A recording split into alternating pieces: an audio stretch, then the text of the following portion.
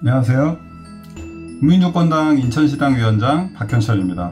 국민주권당이 1기 활동을 마무리하고 이제 2기 국민주권당으로 출범하게 되었습니다. 2기 국민주권당은 촛불정신 구현과 윤석열 탄핵이라는 과제를 반드시 실현하도록 최선을 다할 것입니다.